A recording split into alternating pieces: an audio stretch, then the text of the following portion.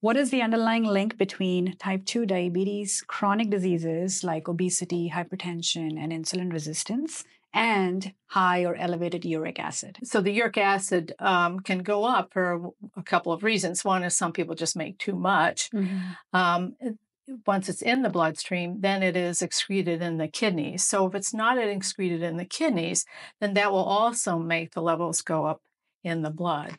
And the problem with having an elevated uric acid is that um, it can deposit itself in um, in tissues, mm-hmm. skin, joints, kidneys. So some people have kidney stones, and it is very inflammatory. So it's an inf- it's thought to be more of an inflammatory disease. So that's associated with that increased risk of vascular disease.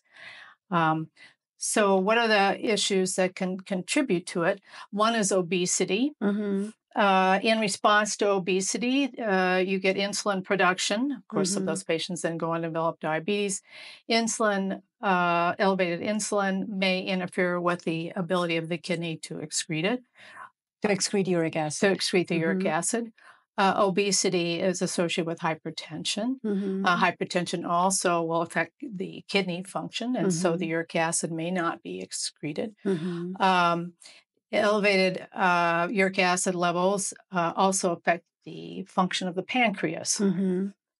So there's a clear link between diabetes and uh, gout or hyperuricemia and, or elevated uric acids and, mm-hmm. and gout.